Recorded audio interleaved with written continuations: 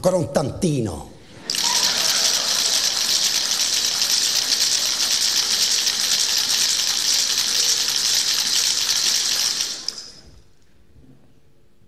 Noi nella mia famiglia lavoriamo tutti, da generazioni. Mio nonno ha fatto il capannone piccolo, mio padre il capannone grande, io il capannone grandissimo. Mio figlio si droga. Ha scoperto che non riuscirà mai a fare un capannone più grande del mio. Ho provato ad aiutarlo con delle sberle, qualche calcio, poi ho provato anche con le maniere forti. Niente. Ogni tanto viene a trovarmi in capannone e mi guarda senza dire una parola. Io per fargli coraggio gli dico, da perego a Perego. Manuel, se tieni duro un giorno sarai proprio qui dentro questo capannone di Eternit, seduto sulla tua bella sedia di compensato, dietro la tua bella scrivania di trucciolare, col tuo bel blocco di fatture, la statuina barometro, il calendarietto, il tuo bel timbro, sarai al posto del tuo papà. Un quarto d'ora dopo era già farsi una pera. Ora, il mio capannone lungo 12 metri e largo 4. Ed è fatto di Eternit e con l'Eternit non si scherza, è pieno di amianto. Produrlo e montarlo è un gioco da ragazzi, e smontarlo e distruggerlo che è impossibile. Si rischia il cancro. L'Eternit non è un materiale, è un monito. Nessuno distrugga ciò che l'uomo ha costruito. Infatti il tuo bel capannone, quando l'hai piazzato lì con la tua bella gru, sai che nessuno verrà più a romperti i coglioni. Ho anche pensato, se il dio egizio, se Tutankhamen, si fosse fatto la sua bella piramide di Eternit, col cazzo che gli profanavano la tomba, te capisci?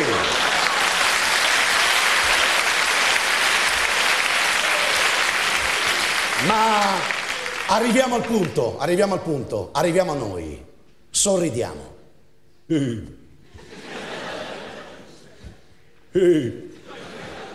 Dentro il mio capannone di Ethernet io fabbrico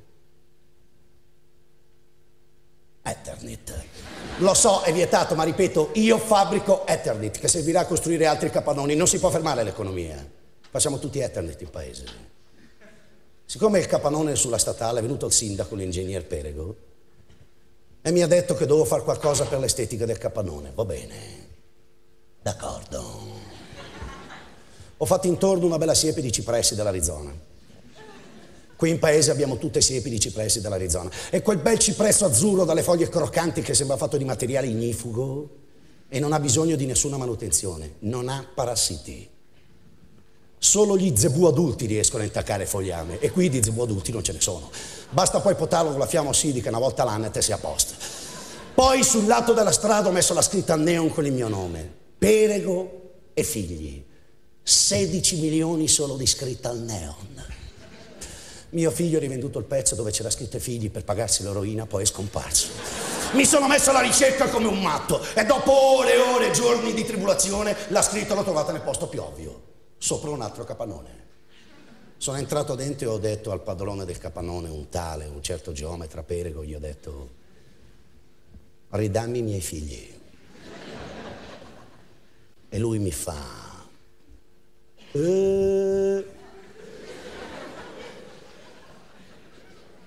eh, come te fetta de che l'ha scritto la toa de che de là. Io ho ripetuto, ridammi i miei figli. Eh, come te fetta? Io ho stretto ferocemente i testicoli, io ho ripetuto, ridammi i miei figli. E lui mi fa, eh, come fai a dire che la scritta è tua, perché tu non hai figli, deficiente!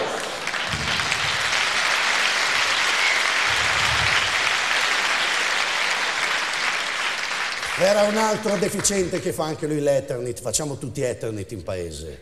Un bel paese, un bel paesello. Capannoni con cipressi dell'Arizona e la sua bella villetta adiacente. Abbiamo tutti la nostra bella villetta adiacente. Praticamente il nostro paese non è altro che un condominio tagliato a fette disposto in orizzontale. Così se fai casino la notte non si incazza più quello di sopra quello di sotto, ma si incazzano i due di lato. Le villette a schiera sono state progettate dai nostri urbanisti perché spalmare l'odio sul territorio è molto meglio che concentrarlo in un solo punto. È una questione statica, i pesi vanno distribuiti bene, quindi i vantaggi sono che dalla camera da letto entro direttamente in tavernetta, dalla tavernetta entro direttamente in capannone, mi lavo e mi vesto durante il tragitto.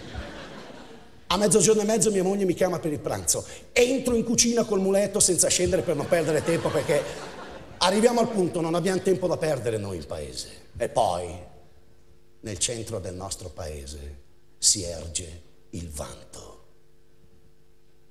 di proprietà dell'architetto Perego.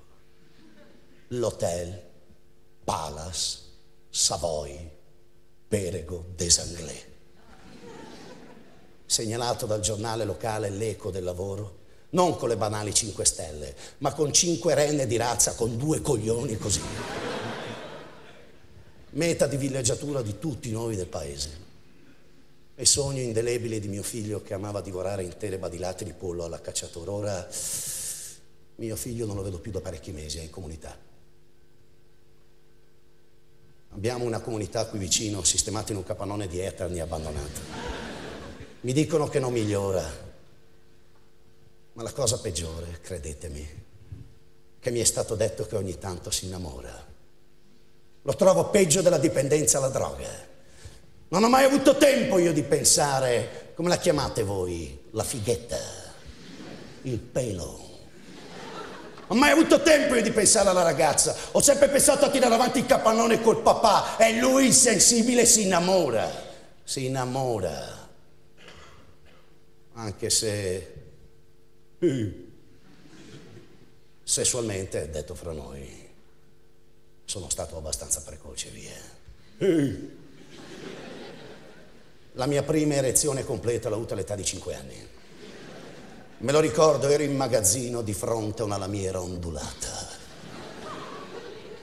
Poi è arrivata la povertà e come anche a me, come capita a tutti, è arrivata l'esaltante ed eroica stagione dell'autoerotismo. Tetti sì. Il mio primo rapporto completo l'ho avuto all'età di 18 anni con una macchina etichettatrice. Ero appena uscito da un'esperienza abbastanza tormentata. Avevo praticato per anni il petting molto spinto con una carta vetrata grana grossa. Un'esperienza che si era conclusa tragicamente tra mille incomprensioni e attriti. E detto questo, mi viene fuori un figlio che si droga e per di più si innamora. Detto questo, vabbè, pazienza. La domenica in paese, tutti in chiesa a ringraziare Dio. Abbiamo una chiesa in laminato plastico ed eterni che è una meraviglia. Quando l'hanno messa giù con la gru hanno dimenticato sul perlinato in alto la scritta trasporti eccezionali. Oramai della scritta ci siamo affezionati, nessuno vuole più toglierla. Così quando preghiamo e guardiamo verso l'alto ci medesimiamo nel messaggio. La chiesa si chiama Santa Maria Buffetti, in onore della prestigiosa catena di articoli per ufficio. Ora, credetemi, amici, amici, centaglia. Io non mi sono mai lamentato di niente, mai. Io con Dio ho fatto i patti chiari. Io faccio il mio lavoro, tu fai il tuo. Anche se mi hai tolto un figlio, mi hai dato in cambio una norma scritta al neon e figli che di notte brilla sopra il capannone come la cometa sulla stalla di Betlemme. In paese abbiamo 4 chilometri di statale con decine di iscritti e figli, e figli, e figli, di tutti i colori, sapete, rossi, verdi, neri, gialli, una pianura trapuntata di luce. I figli o sono partiti per il militare o per la comunità di recupero. Ma un giorno torneranno a casa comunque sia chiaro, sia ben chiaro. Non abbiamo bisogno di nessuno noi in paese, no, di nessuno. Non siamo gente che ama sognare e soprattutto non costruiamo il nostro lavoro coi sogni, no. Anche se io in 40 anni una volta ho sognato, certo, un'esperienza segnalata dal giornale locale. Ma lo ricordo benissimo, era una sera come tutte le altre, stavo seduto sul divano a guardare fuori dalla finestra, forse stavo guardando fuori dalla televisione, non me lo ricordo più. Quando in quella sera come tutte le altre mi giro e mi accorgo che seduto accanto a me c'era qualcuno. Non avrebbe dovuto esserci nessuno in quella sera come tutte le altre, soprattutto perché non invito nessuno né di sera né di giorno, invece c'era. Era una donna. Né bella né brutta, né alta né bassa, né magra né grassa, però detto fra noi, figa. La guardai mentre cavallava le gambe, né belle né brutte, portando alle labbra una sigaretta, né accesa né spenta.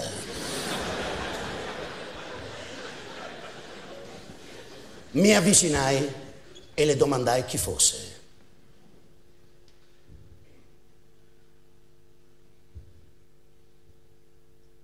Chi fosse?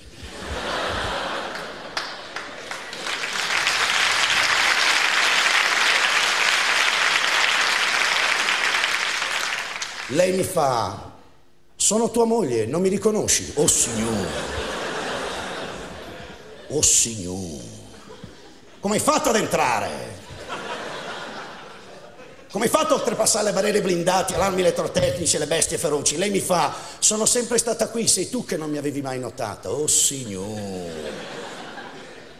Mi fa, voglio ballare con te. Cos'è? Non ho mai ballato io, è gratis. Voglio ballare con te. Vabbè dai, presto fatto, dai, presto fatto, dai, sì. Ho messo su un disco, ho messo su uno slow. Ed è stato però dolcissimo ballare abbracciato mia moglie per quella sera. In quella sera che non era più come tutte le altre.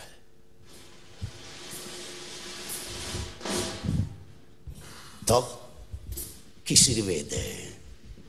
Il mio quarto di manzo. Ti ho lasciato quarto e hai raggiunto tutta la tua bella totalità, eh?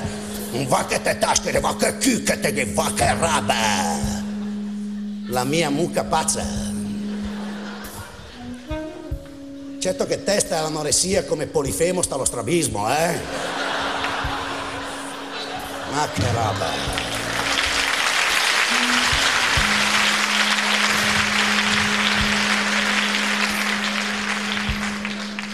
Come hai fatto ad entrare? Come hai fatto a oltrepassare le barriere blindate, gli allarmi elettrotecnici, le bestie feroci, il ponte levatoio e la fossa con i liquami tossici? Ah, sei sempre stata qui. Sono io che non ti avevo mai notato, capito, capito. Ti faccio una proposta. Possiamo ballare sulle pale del muletto così io lavoro contemporaneamente. Ah, non ti va. Non ti va, non ti va la mia muccotta pazzotta. Va che rava che tetta svacca qui. La mia bella otaria. È bello ballare. Mm. Gran rottura di coglioni, ma bello, via. Gran perdita di tempo. Lo segnaleremo al giornale locale. Il Pere che la sua mucca pazza in un momento di svago. Mi piace ballare, sì.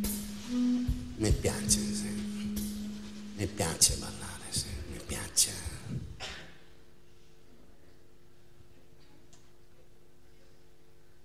Finita la musica, siamo stati a lungo a guardarci, alternando teneri momenti di silenzio ad attimi di romantica assenza di comunicazione.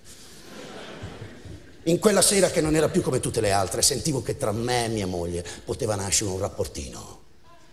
In quella sera che non era più come tutte le altre, sentivo che tra me e mia moglie poteva nascere un extra coniugale.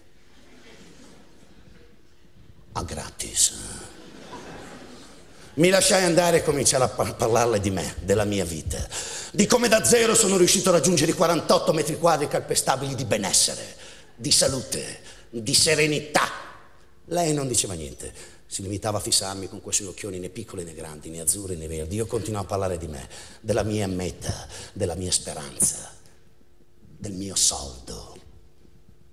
Lei all'improvviso si avvicina, mi abbraccia e mi dice, Perego, eh, mi stai annoiando.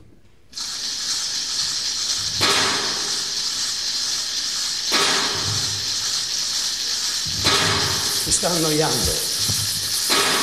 Avete sentito? La signora si annoia. Si annoia. Io, io, io non ho mai avuto il tempo di annoiarmi. Mai, mai. Loro non si sono mai annoiati con me. Il capannone, l'altro, non ha mai avuto il tempo di annoiarsi.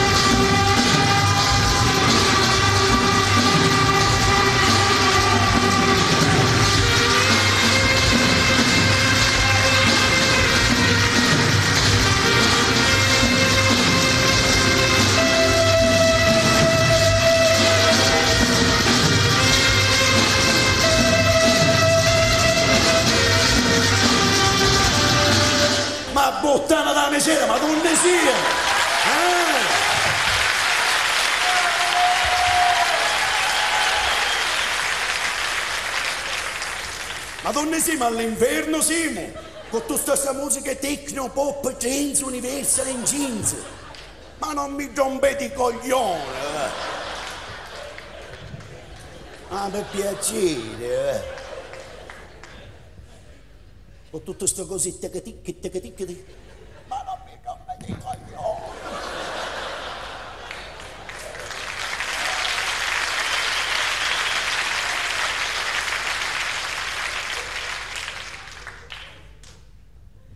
Buonasera. Noi nella mia famiglia non lavora nessuno. Da generazioni, da molte generazioni.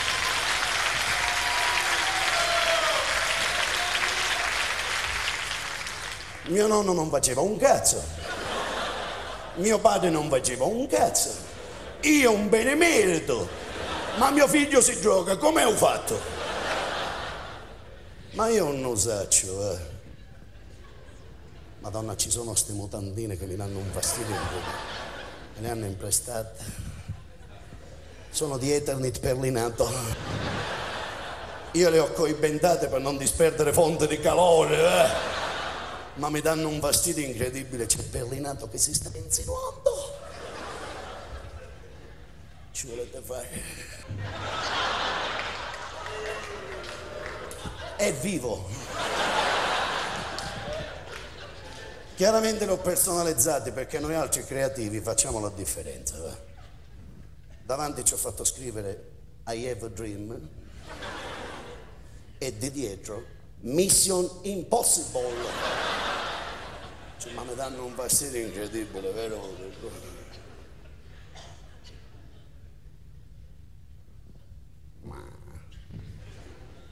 Mi sento di dire quante cose sono cambiate in questi ultimi due o tre anni.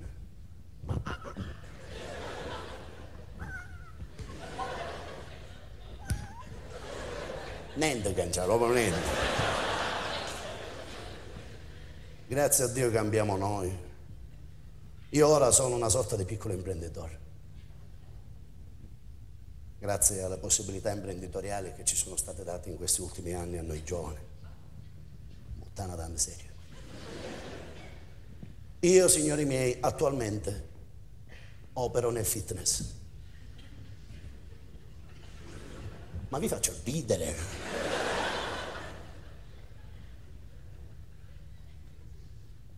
Mi state picchiando? Poco, mi state picchiando. Che bella prima fila, eh? Vi ha accompagnato Folco Quilici, vi ha accompagnato.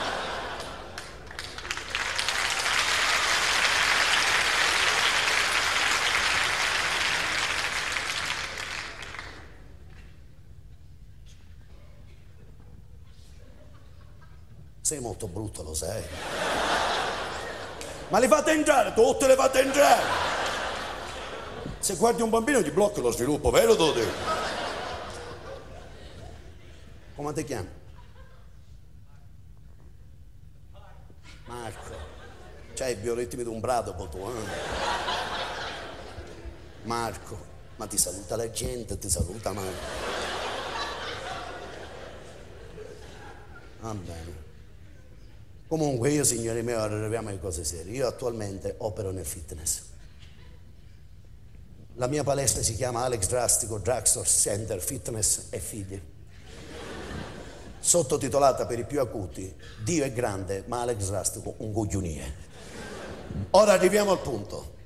Io, signori miei, sono l'unico uomo al mondo che ha aperto l'unica palestra al mondo dove si sviluppano le uniche due parti del corpo che in nessun'altra palestra al mondo si sviluppa. E cioè sono la testa e il necessario, the dream. Ci avete mai pensato? Eh? L'avete mai visto un culturista normale? Avete mai visto la testa? Sembra una prugna appoggiata a un tavolo, va? Li avete mai visto in mezzo alle cosce? Sembra un collier portafortuna, vero? Allora io come creativo ho deciso di partecipare a queste due combinazioni. Per la testa l'esercizio è molto semplice. In exercise, for example, che non vuol dire un cazzo ma mi piace.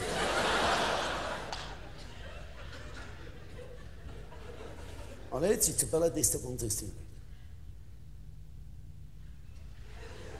Ah, vai, cose serie, va.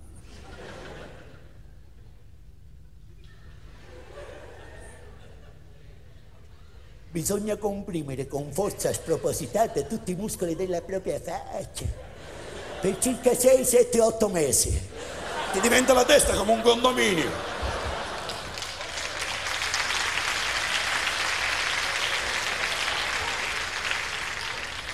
Per il necessaire è molto più semplice. Ti appendiamo una fusione di ghisa di 25 kg e devi percorrere 20 km al trotto senza mai fermarti senza mai fermarti. All'arrivo diventi un aquilone. C'è stata gente che è stata ritrovata in altre nazioni, sono soddisfazioni.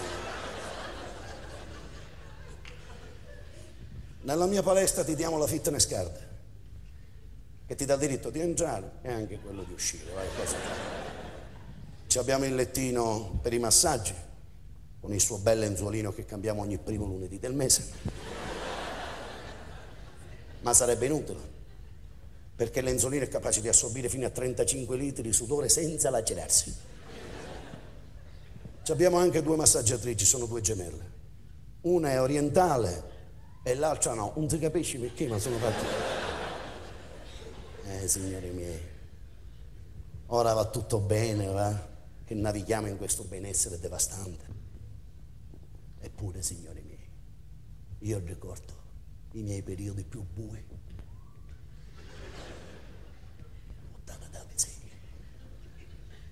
Io, signori miei, vivo a Milano e sono arrivato giù al nord parecchi anni fa.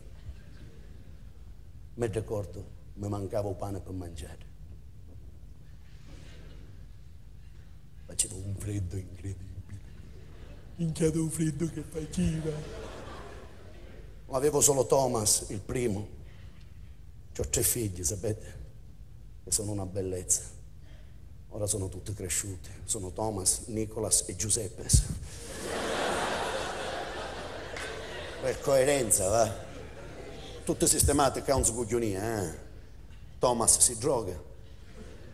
Nicolas spaccia, ma lo prendono sempre perché è albino.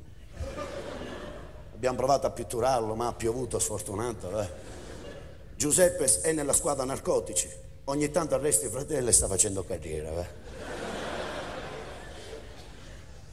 C'avevo anche una moglie, ma gli ho inflitto una pena al cuore. Nel senso che proprio ho inflitto un macchiette, è morta. Ma ha accettato la separazione consensuale con una donna moderna. Ora, tanti anni fa, io avevo solo Thomas, il primo, quattro anni, già si giocava. Mi ricordo, signori miei, mi mancava pane per mangiare, vero? E ricordo Mancavano quattro giorni a Natale. Quattro giorni a Natale. Quattro giorni a Natale. Quattro giorni a Natale. Quattro giorni a Natale. Ma vai, cose serie.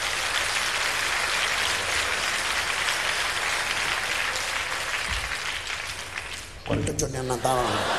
Ah va, però non si può scherzare su cose serie, va, vero? giorni.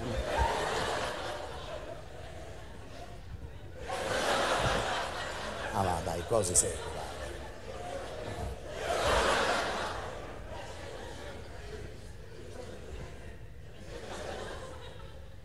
Mi ricordo.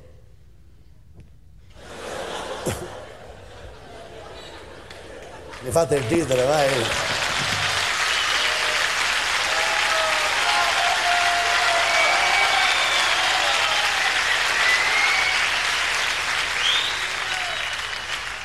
Stavo passeggiando per una zona prestigiosa, una zona periferica, quando all'improvviso vedo un pollaio con quattro gallini e un tacchino. Le guardo e gli dico, domani ci vediamo. Il giorno dopo, per un caso astratto e incomprensibile, mancavano ancora quattro giorni a Natale. Sono arrivato con un sacco di aiuto, ho preso quattro gallini e un tacchino. Sapete che ho fatto per Natale? Ho mangiato carne senza pane, mi mancava un pane, va.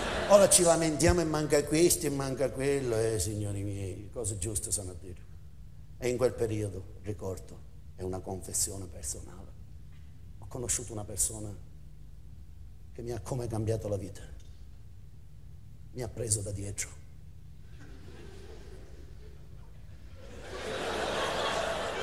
Psicologicamente parlando, eh. Confondiamo la micchia con bumolo che va bene bere con lo stronzo. Mi ricordo, mi ha detto una frase, signori miei. Signore, mi ha detto una frase che io non l'auguro neanche al mio peggiore nemico, neanche a te l'auguro? Mi ha detto una frase, signori miei, che io non l'auguro a nessuno, mi ha detto, vuoi lavorare con me? Che cosa? Devi stare calmo, gli ho detto. So che abiti da questa parte, casualmente abito dall'altra, dimenticami. Stronzo. L'ho incontrato pochi giorni fa. Stavo passeggiando sempre per una delle mie zone centrali, una zona di prima classe, prestigiosa, zona periferica. Quando all'improvviso mi ritrovo di fronte un tizio presso poco alto come me. Io ho pensato, ma com'è possibile? Con un'espressione intelligente come la mia, con le mie stesse tendenze politiche, con i miei stessi gusti letterari, era evidente, vestito con sobria eleganza come me. Avevamo due cravatte uguali ma con fantasie diverse. Lui aveva i cervi e io gli elefantini. Era Perego. Ho estratto fulmineamente la pistola E anche lui ha fatto la stessa cosa nello stesso momento esatto. Eravamo in un vicolo buio, uno di fronte all'altro, con la pistola puntata l'uno contro l'altro. Incredibile, non ci capivamo. Stessa altezza, signori miei, stessi gusti politici, letterari, stessi vestiti, eppure non ci capivamo. Io gli dicevo, ma perché non ti ammazzi? E lui mi diceva, vada via il Q. È proprio vero che noi più cresciamo, più diventiamo minchie. Eh? Erano trascorse all'incirca due ore ed eravamo all'incirca gli stessi due imbecilli di prima che si minacciavano a vicenda senza avere il coraggio di prendere l'iniziativa. La tensione era così alta che i cervi e gli elefantini delle nostre cravatte si minacciavano a vicenda. Istanti carichi di tensione che ti sembrano un'eternità. Infatti io e Perego siamo rimasti lì tutta la notte, i giorni seguenti e così per un'intera settimana senza muoverci. Nel frattempo i cervi e gli elefantini avevano fatto pace. Noi no. Una pianta rampicante aveva avvolto i nostri corpi. Sembravamo Adamo ed Eva. E se mi permettete, io Adamo e lui Eva. Eh? Per fortuna, all'alba dell'ottavo giorno sono passati quelli della nettezza urbana che fischiettando ci hanno buttati nel camion insieme alla spazzatura. Uno di noi due, non ricordo bene quale dei due, se Adamo o Eva, ha detto all'altro, non muoverti o sparo.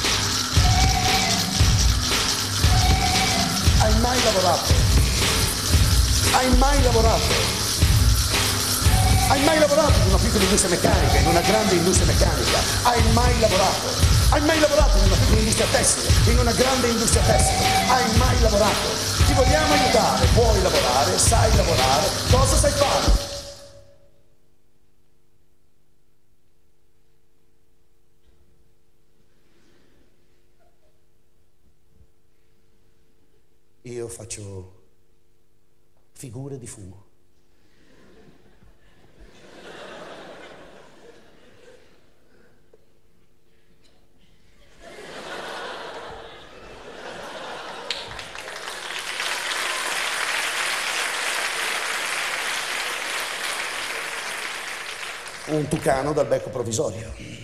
Perché no? Hai mai lavorato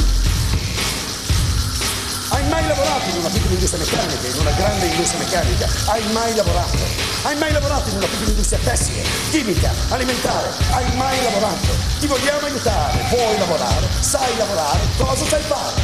Mi dovete credere, faccio figure di fumo. È il mio lavoro, ci vuole un pizzico di fantasia, per voi può essere volgare, per me è fondamentale. Faccio figure di fumo, lo trovo meraviglioso.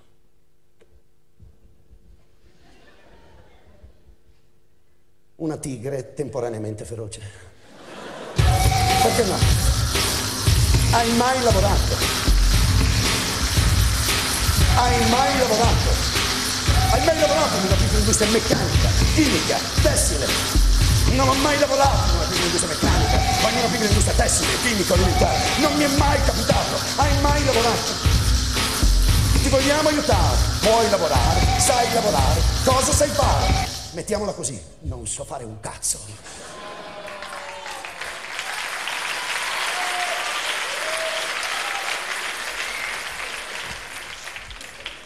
un culo senza buco. È un lavoro e lo trovo meraviglioso. Il passero asociale di Giacomo Leopardi. Perché no? Lo trovo meraviglioso. Non hai mai lavorato, non ho mai, non hai mai, non ho mai, hai mai. Io faccio figure di fumo. Uh. Questo lo volevo dire al mondo, davvero, lo volevo dire agli altri, perché lo trovo un lavoro nobile, lo trovo un lavoro meraviglioso. E allora sono salito su un treno per dirlo a tutti e ho mostrato al controllore un biglietto di fumo regolarmente valido. Il controllore me l'ha timbrato, poi mi ha multato, perché viaggiavo in uno scompartimento per non fumatori, sentite. Il disagio c'è, il disagio esiste, io faccio figure di fumo. Lo trovo meraviglioso. Ma qui lavoriamo tutti, lavoro anch'io.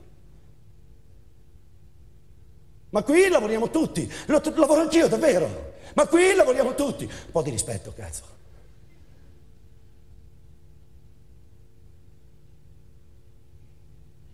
Ma qui lavoriamo tutti.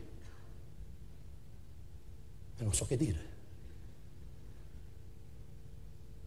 Per voi che lavorate tutti, non so. Buon lavoro.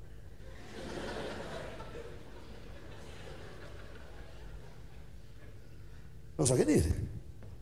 Oh, buona giornata. Buona giornata, buon lavoro. Per voi, sì, che lavorate proprio tutti. Che dire? Non so, dai. Ma buon lavoro, sì. Ma buona giornata, buon lavoro. Che dire? Non so. Ma non hai mai, non ho mai, hai mai. Per voi, sì, che lavorate proprio tutti. Dai. Buon lavoro, sì, che bello. Beh, buona giornata, buon lavoro. Non so che dire. Beh, come stai? Buon lavoro. Come va? Beh, buona giornata. Ehi, che bello. Per voi, sì, che lavorate proprio tutti. Non so che dire. Buon lavoro. Beh, buona giornata, buon lavoro. Che dire? Non so. Non so.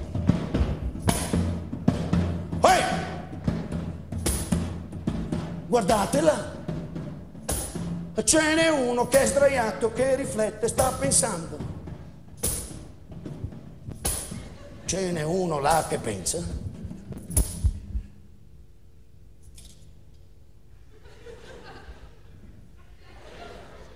Ce n'è uno che è sdraiato, che riflette, sta pensando. Ma cosa pensa? Dove pensa? Mm,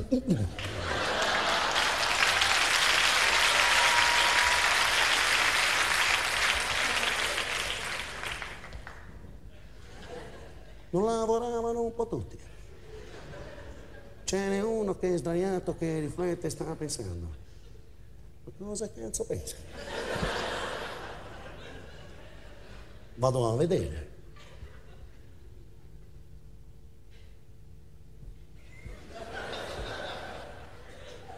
Beh. Ce n'è uno che è sdraiato, che riflette, sta pensando, è caduto sul lavoro, buon lavoro! Per lui sì, per noi dai, per tutti! Ma buon lavoro! Ma buona giornata, buon lavoro! Che bello! Ma come va? Buon lavoro! Come stai? Beh, buona giornata, sì! Che bello! Ehi! Guardatela! Ce n'è uno che cammina con una che cammina, che si baciano. Si baciano.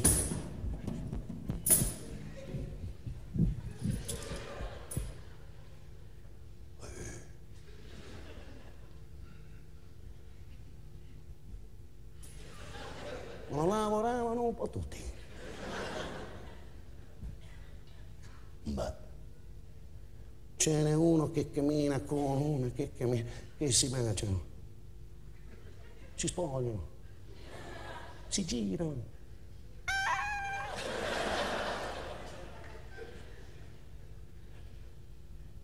Ma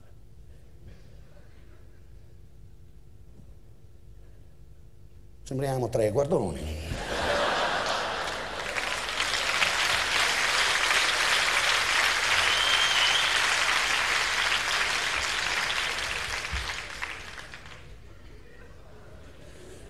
Mi sto anche un po' eccitando. Posso toccarti il culettino? Amore.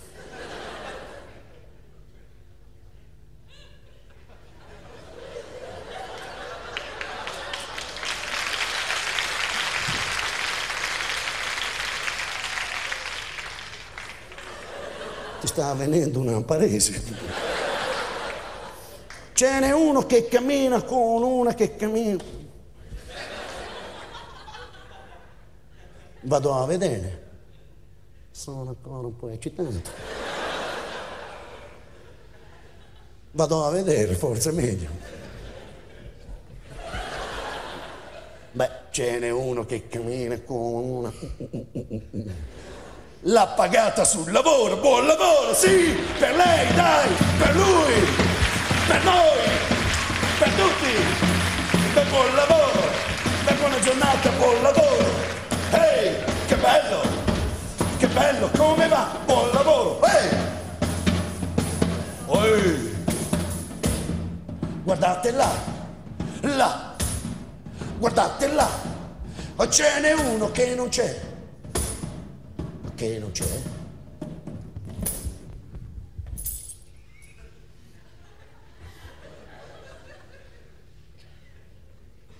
Ce n'è uno che non c'è. È un bel problema.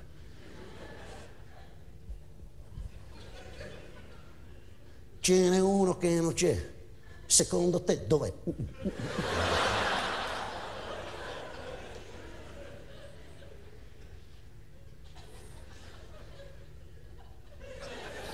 sei quasi all'ictus. Ce n'è uno che non c'è. Dove cazzo è? Sono sempre un po' eccitante.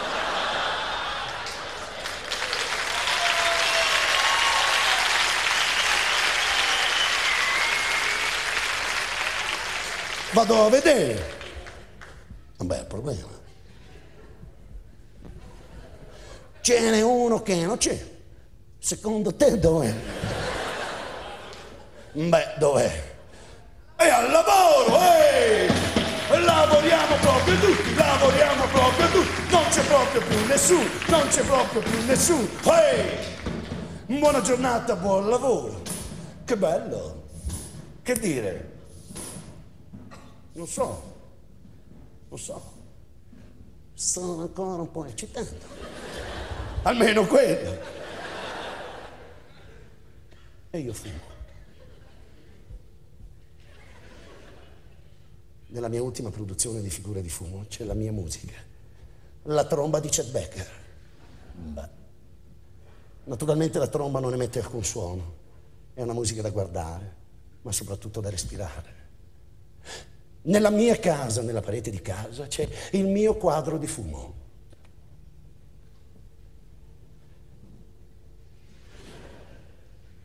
È il ritratto della mia ex fidanzata, che si dissolve sul volto privo di contorni di un industriale caseario, le cui muffe trascolorano nella luminosa policromia del suo fatturato. Dalle cui limpide acque della sua villa con piscina emerge il nudo botticelliano di quella troia della mia ex fidanzata, la quale ha preferito la luminosa policromia del fatturato caseario ai chiaroscuri del mio misero conto in banca e tutto questo con un solo tiro. Cazzo. Però a volte mi domando, mi capita spesso, credetemi, se un giorno le mie figure di fumo potessero essere acquistate dai tuoi figli, o dai figli dei tuoi figli, o dai tuoi figli, perché no? Mi farebbe molto piacere, per tutti i motivi che noi conosciamo, via. Ma l'idea di non vederle mai più quasi mi addolora, un po'.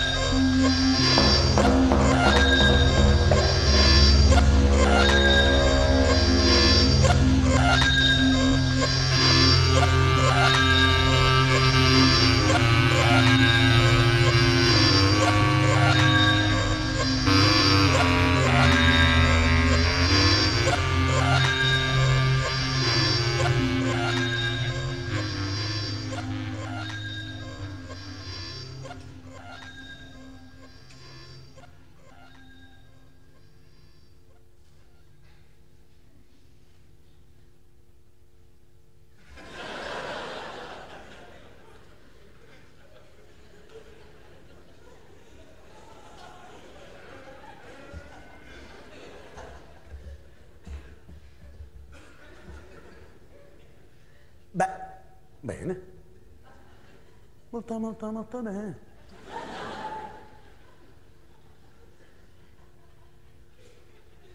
Io lavoro molto. Molto bene.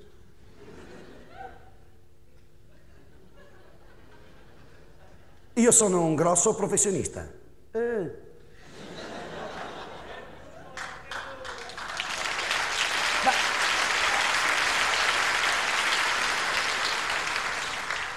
Io faccio l'analisi delle gestioni integrate. Sono un dirigente, faccio l'analista delle gestioni integrate. Voi mi chiederete, che cos'è l'analisi delle gestioni integrate? Non lo so.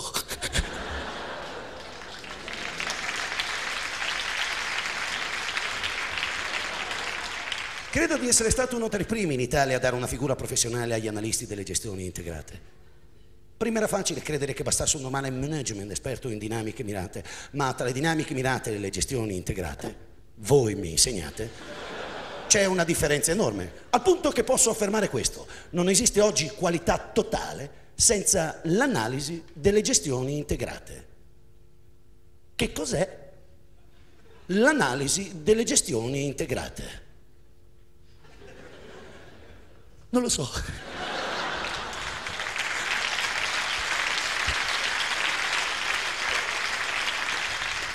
Vediamo un po'. Mio padre faceva il barbiere, o barba o capelli. Nessuno gli ha mai detto, ma lei signor Ettore che lavoro fa? Il barbiere o è barba o è capelli. Mentre capisco che qualcuno di voi può arrivare a chiedermi, quindi lei signor Cantoni, lei, che lavoro fa? Non lo so. Certo so che l'analisi delle gestioni integrate è tutto ciò che si occupa di flussi compensativi tra comparti omogenei e comparti disomogenei, dalle garanzie di ricavo agli scompensi produttivi. Sì, questo lo so, ma non so che lavoro è, ma lo faccio. E sia ben chiaro, l'azienda ci segue, perché lo sa che ogni tanto ci chiediamo, ma io che cazzo di lavoro faccio? Siamo il secondo gruppo in Europa e il quinto gruppo nel mondo a non sapere che lavoro fa. Ma lo facciamo bene, guadagniamo anche molto bene. Abbiamo anche uno psicologo per capire che lavoro facciamo. Allora, Cantoni, lei ha capito che lavoro fa? Certo. Certo, dottore. Analisi delle gestioni integrate. Bene, Cantoni, sento che fa progressi. Grazie dottore, ma sarei dottore anch'io, ho due lauree, quindi mi sembra il caso comunque di poter dire bene bene. Giovannelli ne ha quattro. Bene, bene, bene, bene. C'è chi ne ha più di quattro, infinitamente bene. C'è chi ne ha una sola, comunque bene. E poi i vantaggi in azienda. Le donne, beh. Piacere Cantoni, analisi delle gestioni integrate. Piacere Cinzia, garanzie di ricavo. Ah. Piacere Patrizia, scompensi produttivi. Ah. Piacere Beatrice, target di penetrazione. Tu Beatrice sai che lavoro fai? No, nemmeno io. Vabbè che l'amore è un mistero, però. Eh, eh, eh. Tra le tre ho scelto una quarta. Paloma, Troia. Lei sa che lavoro fa.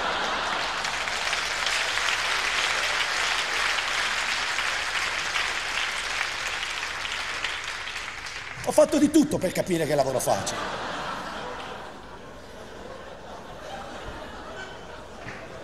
Ho fatto di tutto per capire che cazzolina è l'analisi delle gestioni integrate. E ormai confuso e infelice, ho imboccato anche la strada della spiritualità. Mm-mm. Ho fatto anche questo. La prima setta si chiamava Chiesa penitenziale degli Apostoli Pentecostali per l'edificazione dello Spirito Santo di Dio illuminato dal sangue del divino amore, detta anche Chiesa dell'Apnea.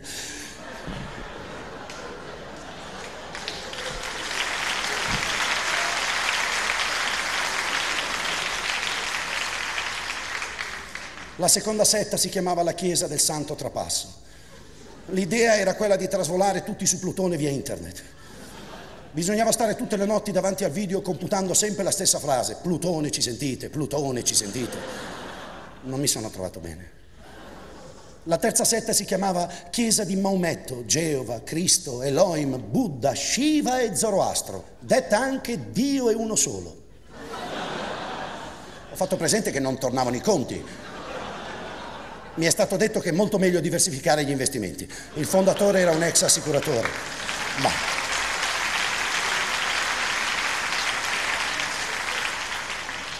Poi finalmente la quarta setta quella che arriva alla fine di tutte le cose, quella che finalmente poteva dare una risposta alla mia domanda, cioè potermi dire cosa cazzo è l'analisi della gestione integrata del cazzo?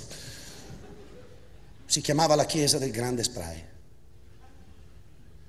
Era una multinazionale di vendita di prodotti per la casa. Ci si riuniva in grandi convention sul lago di Iseo nel mese di novembre.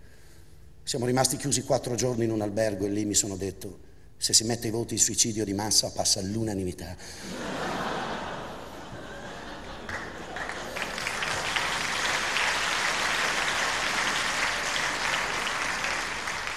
Al grande buffet ci hanno spiegato tutto. C'è una graduatoria aziendale. Se sali fino all'ultimo gradino lì puoi incontrare il grande spray e interrogarlo. Mi sono fatto un culo così. Sono salito fino all'ultimo gradino e lì ho incontrato il grande spray. Credetemi, era meraviglioso. Era sospeso su una nuvola di gas nobile. Stava rammendando il buco dell'ozono. Lui mi ha anticipato, mi ha riconosciuto e mi ha detto, Cantoni, ti conosco, ti seguo, sai? Grande spray, almeno tu dimmi, solo tu dimmi. Cosa cazzo è l'analisi delle gestioni integrate? Lui mi guarda negli occhi, mi mette una mano sulla spalla, col suo sguardo deciso e sicuro e mi dice... Ne lo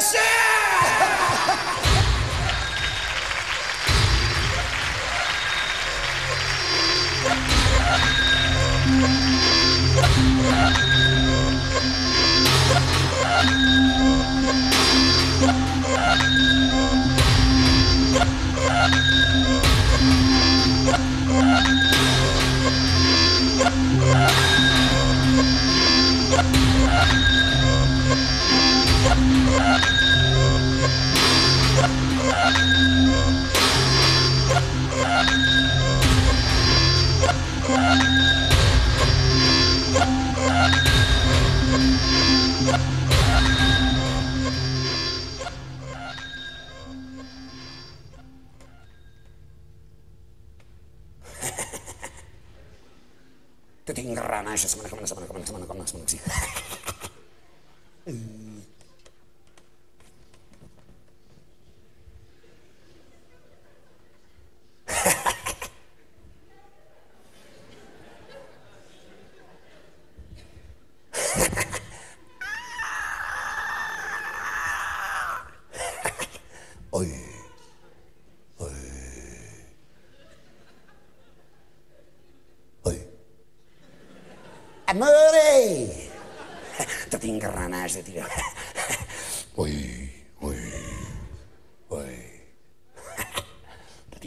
знаешь, я тебя смел сам, сам.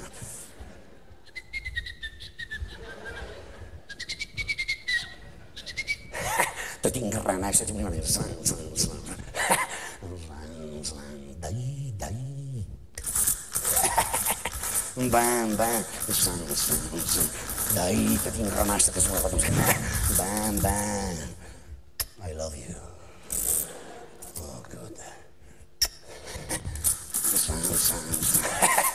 Bam, bam. Bam, bam. Dai, dai.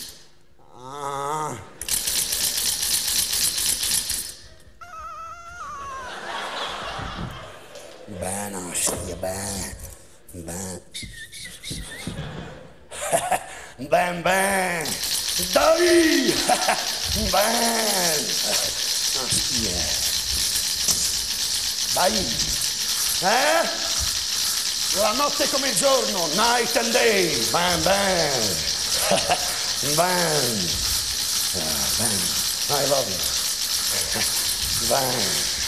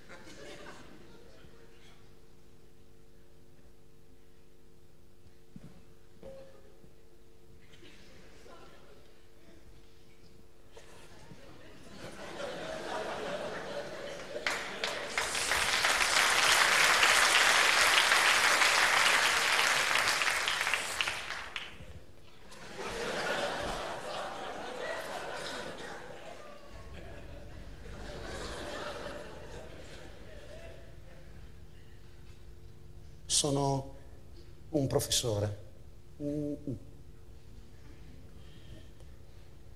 Sono reduce dagli esami di licenza media che ho appena affrontato. Nella scuola media dove io lavoro da parecchi anni, la scuola media Giosuè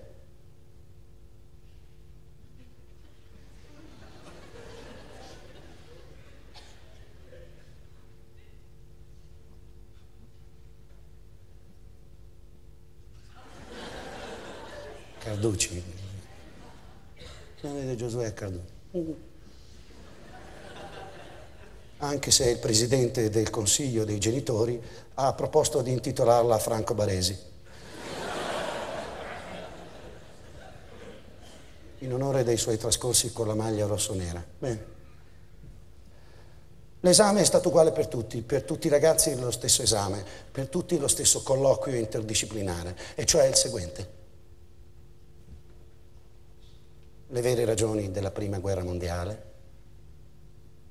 le vere ragioni della seconda guerra mondiale, il calcestruzzo come materiale da costruzione, il cubismo e l'arte di Picasso, energia nucleare, aspetti negativi, aspetti positivi, la sinestesia come figura retorica nella poetica di Giosuè Carducci, il romanticismo in musica. Beethoven era veramente sordo?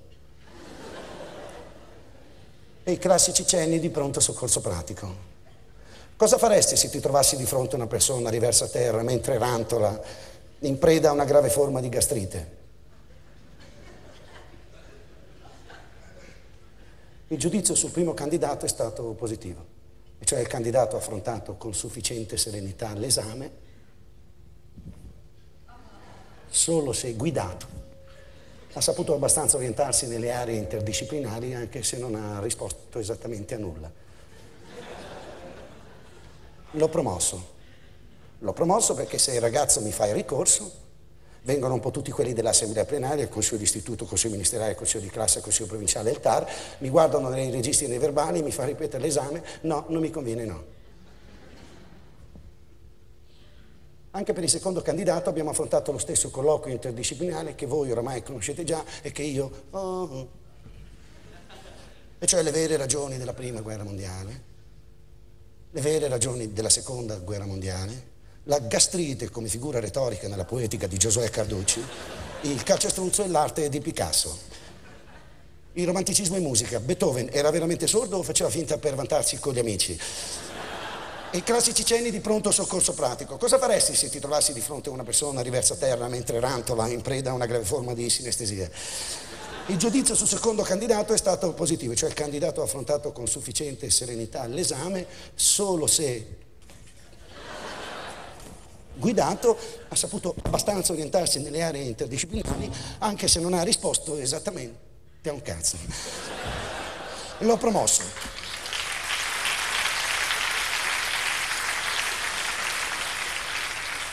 L'ho promosso perché se il bastardino mi fa il ricorso, vengono un po' tutti quelli dell'assemblea e mi fanno ripetere l'esame. No, non mi conviene, no, no. Suo malgrado entra al terzo candidato e anche per il terzo candidato abbiamo affrontato lo stesso colloquio interdisciplinare che voi ormai, oh, e che io, ah, e cioè le vere ragioni delle vere ragioni della prima e della seconda e se ti applichi dalla terza guerra mondiale, la gastrite di Giosuè Carducci, il romanticismo in musica, Beethoven era veramente sordo e se sì era proprio caso che componesse questa cazzolina di nonna, e i classici cenni di pronto soccorso pratico. Cosa faresti se ti trovassi?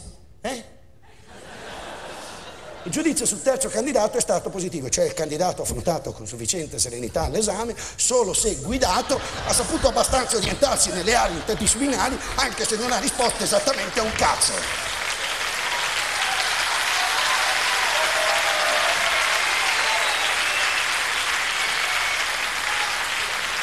L'ho promosso. L'ho promosso perché se il gran figlione di puttana mi fa il ricorso, vengono un po' tutti quelli dell'assemblea, sanno che sono in vacanza, vengono, mi prendono dalle vacanze, mi legano, mi prendono da dietro, non mi conviene, no. Suo malgradissimo entra il quarto candidato. E anche col quarto candidato abbiamo affrontato lo stesso colloquio interdisciplinare del cazzo che ha rotto i coglioni a voi, ma non potete capire come ha rotto i coglioni a me. E cioè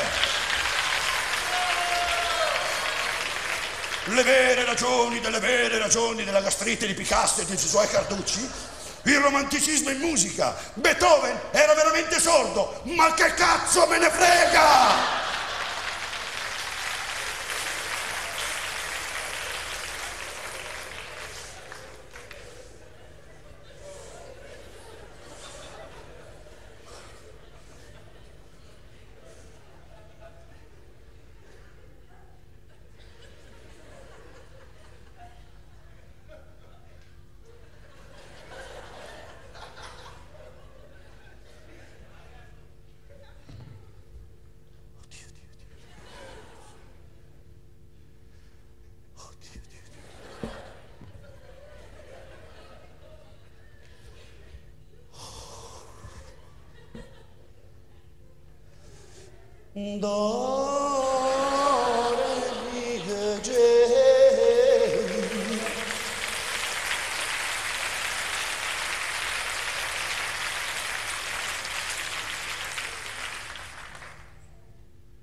Il quarto candidato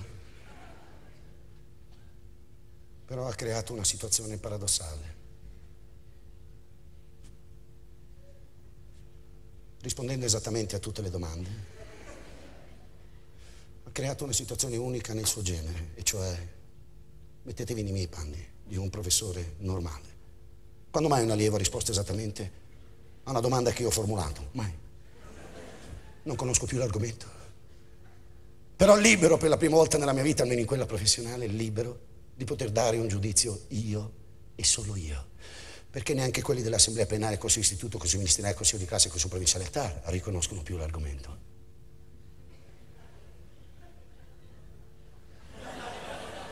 Quindi libero per la prima volta nella mia vita di poter dare un giudizio io e solo io. L'ho bocciato. Sono vivo! Viva!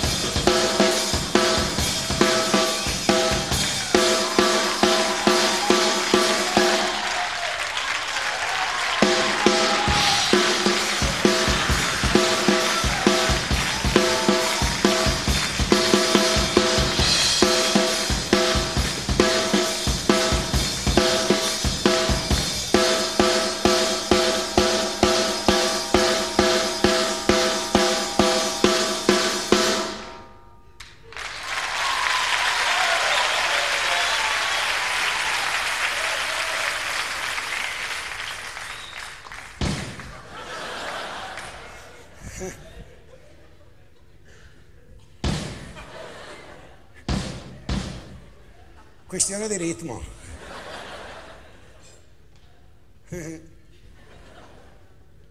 Tu come mi vedi? Così sono. Io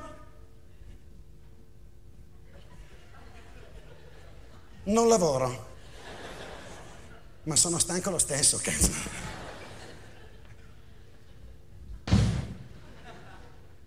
Ho pensato, ho 35 anni, lavorerò da grande. Comunque sono molto impegnato. Ogni notte faccio il turno di notte. Dalle 2 di notte alle 10 di mattina. Dal Galaxy al mare e dal mare al Galaxy. È bella educativo. Siamo sempre in quattro, con quattro paia di occhiali neri nella mia macchina nera. Da fuori non ci vede dentro nessuno e noi da dentro non riusciamo mai a vedere un cazzo. Chi è dentro è dentro, chi è fuori è fuori. 16 valvole, 24 altoparlanti, Casse dappertutto, anche nel portacenere. Sono grosse come Octalidon. Nella mia macchina c'è assenza di gravità. L'importante è non sbagliare mai CD. Mai. Perché una solo di mandolino può romperti i coglioni. Siamo sempre in quattro, dal Galaxy al mare e dal mare al Galaxy. A volte uno fuma, uno può anche dormire, uno può dire all'altro, come hai detto non si sente un cazzo. E a volte ce n'è anche uno dei quattro che guida. Sono serate che funzionano così. Chi è dentro è dentro, chi è fuori è fuori. Ci fermiamo solo per far benzina e ogni volta ci sentiamo dire buonasera.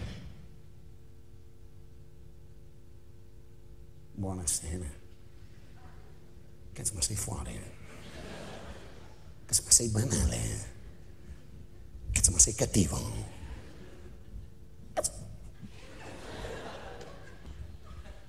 Noi del turno di notte riconosciamo che dietro quel buonasera c'è tutta la violenza della notte che incombe.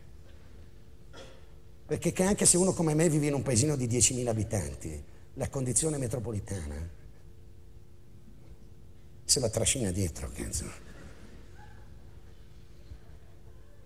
Io sono in contatto via internet con un giovane di Detroit, un americano, due palle così che quando gli racconto come vivo io mi dice sempre, qui a Detroit non succede mai un cazzo.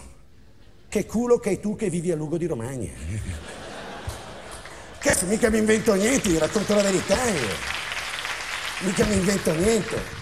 Una volta è venuto a trovarmi nella stazione delle Corriere quando sono andato a prenderlo.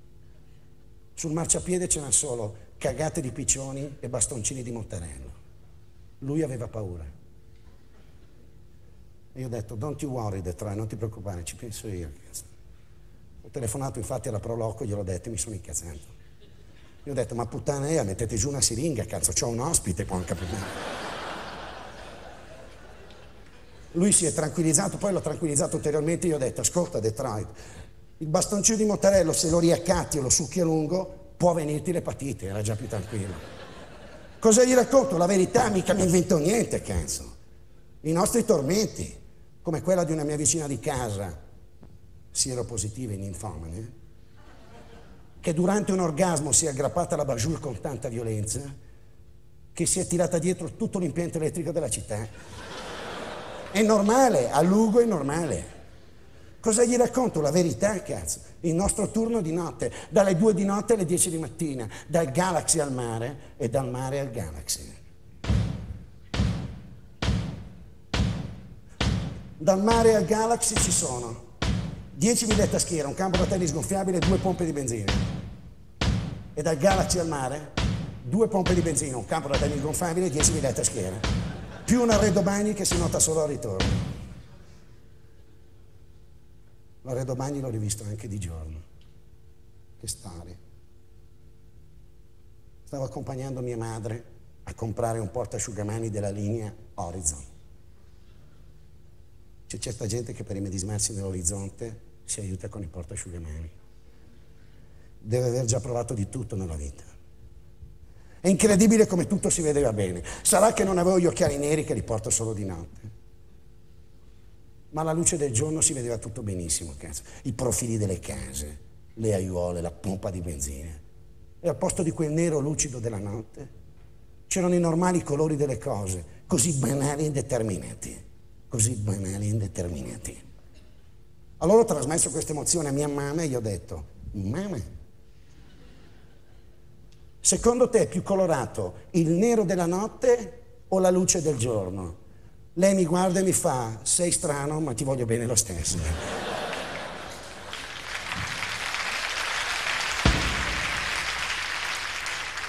Mentre mia mamma era nei suoi aerodobagni, nei suoi Gran Canyon, io ero nel mio abitacolo nero e due domande mi tormentavano, due domande della Madonna.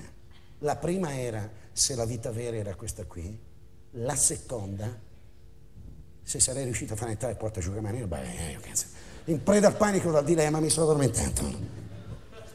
Mi ha svegliato mia mamma quando ha caricato il portasciugamani e mi fa, è per te un regalo. Io ho detto, cazzo mamma, sei banale. Lo sai che non ne ho bisogno, mi asciugo con lo Scottex. Allora lei mi fa, appendici lo Scottex. Ci capiamo con mia mamma. Anche se dietro quel suo Scottex si nascondeva tutta la violenza casalinga. La riaccompagno a casa. Mentre passiamo davanti al Galaxy le dico, mamma, look, io la sera vengo qui, aprono le due di notte e chiudono alle dieci di mattina. Sei contenta, mamma? Mia mamma non mi cagava di striscia. Il suo sguardo proiettato verso l'orizzonte, forse perché immedesimata nel portasciugamani. Allora le ho ripetuto, mamma, mamma, questione di dignità, un pizzico d'orgoglio. Il tuo baby viene qui. Aprono le due di notte e chiudono alle dieci di mattina. Sei contenta, mamma? Allora le ho ripetuto, mamma, mamma, mamma. Devi sapere dove viene il tuo ragazzo, vengo qui. È il mio impegno, il mio turno di notte. Aprono le due di notte e chiudono alle dieci di mattina. Sei contenta, mamma? Mia mamma mi guarda e mi fa. È lo stesso turno che faceva tuo padre col taxi, deficiente.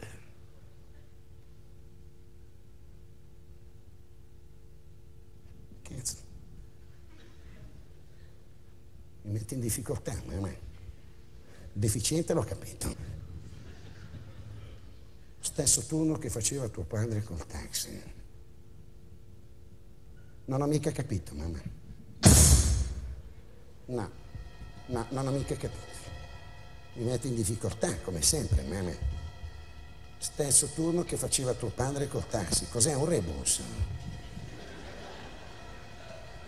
Stesso turno che faceva tuo padre. Ah, forse ho capito. Cioè tu mi vuoi dire che papà andava al Galaxy. E cazzo, se me lo dicevano prima ci stringevamo. Ci siamo sempre stati in cinque, mamma. Eh, se poi aveva la tipa, mantenevo il segreto, questione di coerenza. Lo sai che mi appartiene. Epilogo.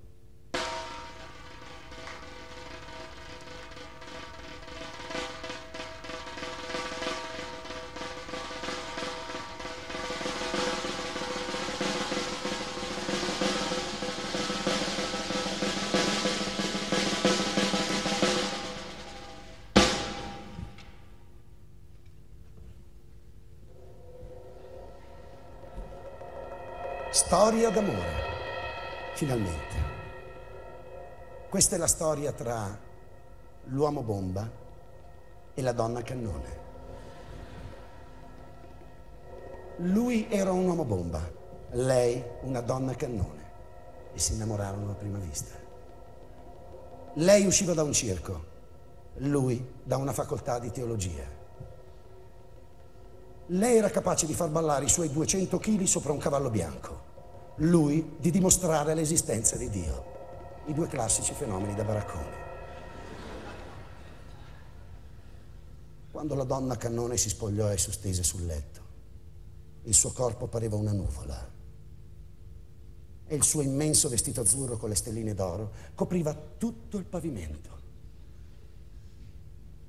Lui camminava piano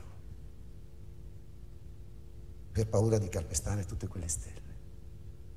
E tu non ti spogli? chiese la donna cannone. L'uomo bomba cominciò a spogliarsi molto lentamente per paura che i fili dell'innesco si impigliassero nella cerniera lampo. Aveva vergogna e aveva paura. Aveva vergogna del suo corpo magro e della sua virginità di studente aveva paura del giudizio di Dio.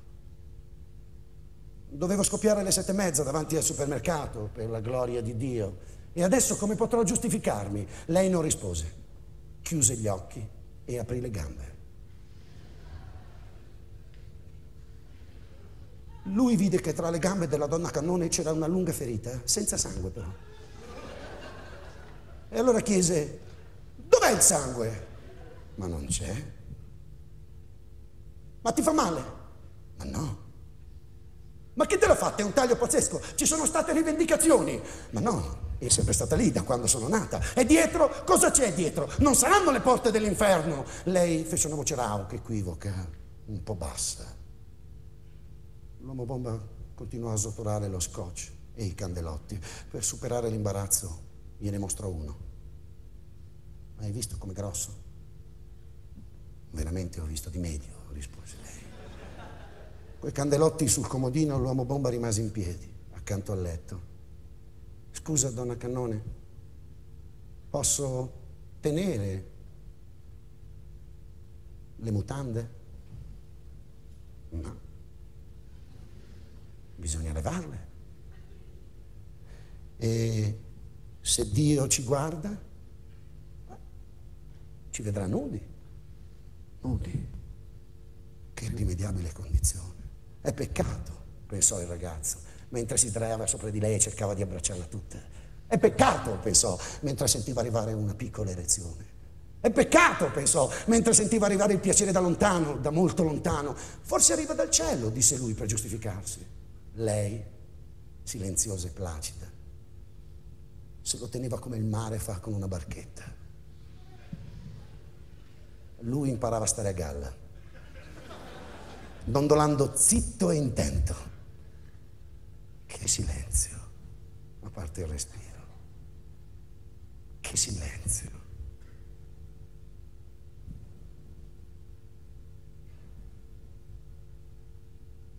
I sei candelotti di Tritolo furono ritrovati da una donna delle pulizie. Che perversi, pensò, eh? Li buttò nella pattumiera, poi chiuse la porta della stanza. Sul pavimento, in un angolo buio, rimaneva una stella che si era staccata dal vestito. Un'ora dopo, due isolati più là, come ogni sera, ricominciava il circo.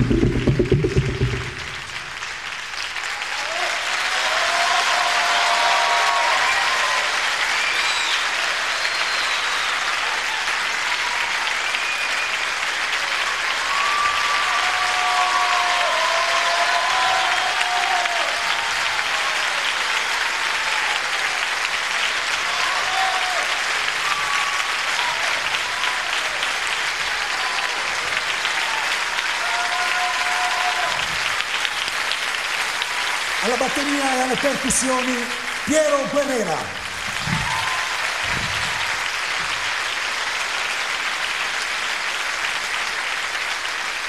Ai sax e al tamburello Massimo Cavallaro. Musiche.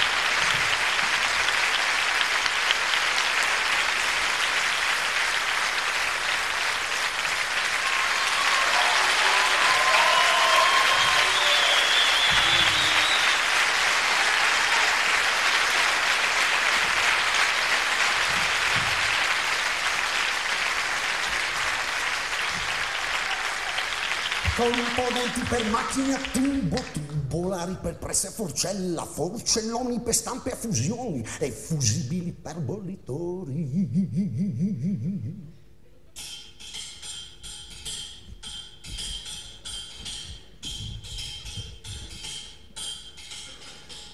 Com'è bello il nord, come piatta l'acqua ferma nei fossi, la chiatta che trasporta lamiere ondulate sopra piccole onde malate. Come ricco il nord, tutelato dalla vergine del fatturato, produttore di tutto il prodotto, dalla pentola fino al risotto. Come saggio il nord, coi bambini orazionati per farli felici, tra le Volvo si inseguono in bici, sotto i portici dei condomini. Yeah. Come dorme il nord? Che fa un sogno all'altezza del suo fabbisogno, con la bega di guardi i confini e i nanetti di guardi i giardini. Ma com'è forte il nord? Com'è duro catturare quei pesci siluro dentro l'acqua che sembra saliva nei laghetti di pesca sportiva. Com'è bello il nord quando tace nella notte che copre i paesi, ma non dice che cosa gli piace, ma non dice che cosa gli pesi. Com'è bello il nord, com'è ricco il nord, com'è saggio il nord, com'è ricco, com'è saggio, com'è forte, com'è bello il nord. Ma non dice che cosa gli piace, ma non dice che cosa gli pesi, non lo dice che cosa gli piace e non dice che cosa gli pesi, ma ve lo giuro, com'è bello il nord.